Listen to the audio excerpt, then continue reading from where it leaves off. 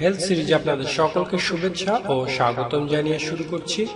আমাদের আজকের বিষয়, জেনে নিন কীভাবে সহবাস করলে গার্লফ্রেন্ড প্রেগনেন্ট হবে না।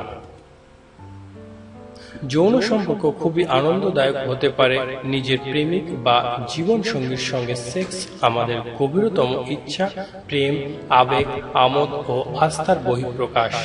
একজনকে ভালোবেসে তার সঙ্গে যৌন সংসর্গে লিপ্ত হওয়া প্রেমেরই অভিব্যক্তি। আবার অনেক সময় সেক্সের মাধ্যমে আমরা সংক্রামক রোগের সম্মুখীন হই। আর এসব রোগ খুব হেলা ফেলার নয়। অনেক সময় যৌন সংক্রামক রোগের ফল খুব ভয়াবহ হয়ে দাঁড়ায়। ভবিষ্যৎ রোগ যন্ত্রণার সম্ভাবনা এড়িয়ে কীভাবে সেক্স করে আনন্দ উপভোগ করা যায়? নিজের যৌনতা উপভোগ করতে হলে কি স্বাস্থ্য সুরক্ষা করতে পারব না? আমরা অনেকেই এই সহজ প্রশ্ন দুটির উত্তর জানি না। আমরা জানি কন্ডম কমে, কিন্তু খুব উত্তেজনার মুহূর্তে এই সহজ তথ্যটা হয়তো অনেকেই ভুলে যায় আর নিজেদের দীর্ঘমেয়াদী মঙ্গলের কথা মনে না রেখে হটকারিতা করে বসে। প্রথমে যেটা দেখতে হবে সেটা হলো আপনাদের বয়স।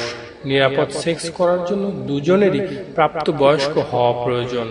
দ্বিতীয় দেখতে হবে দুজনেরই সেক্স করার ইচ্ছা আছে তো? কেবল আপনার ইচ্ছা হলে চলবে না। আপনার গার্লফ্রেন্ডেরও ইচ্ছা থাকা চায় এরপর ভাবতে হবে, সঙ্গমের পর আপনাদের দুজনার মনে অপরাধ বোধ জাগবে না তো?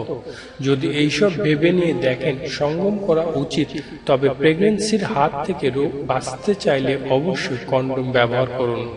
পিলের ভরসায় থাকবেন না। অযাচিত গর্ভ ও যৌন রোগের হাত থেকে বাঁচতে সব থেকে নির্ভরযোগ্য হল কন্ডম সেক্স নিয়ে আলোচনা করতে একটু খারাপ লাগতে পারে।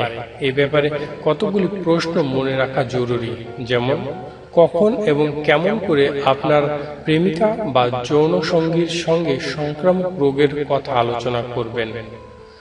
আমরা কেমন করে মিলিত হব যাতে সুরক্ষিত থাকা যায়, আবার প্রেমের মুহূর্তটিও নষ্ট না হয়। যৌন মিলনের কোন প্রক্রিয়াতে রোগের সম্ভাবনা বেশি আর কোনগুলোতে সংক্রমণের ঝুঁকি কম? যৌন আচরণ যথাযথ নীতি নির্ধারণ করে নিজেকে সুরক্ষিত রাখতে আমাদের এসব তথ্য জানতে হবে।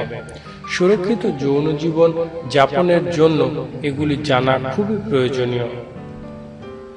দর্শক, সকল প্রকার যৌন, স্বাস্থ্যসেবা ও বিউটি টিপস সংক্রান্ত তথ্য পেতে চ্যানেলটি সাবস্ক্রাইব করে আমাদের সাথে থাকুন। ধন্যবাদ। হেলথ সিরিজ আপনাদের সকলকে শুভেচ্ছা ও স্বাগতম জানিয়ে শুরু করছি। আমাদের আজকের বিষয়, এই গরমে যেভাবে আপনার শিশুকে সুস্থ রাখবেন।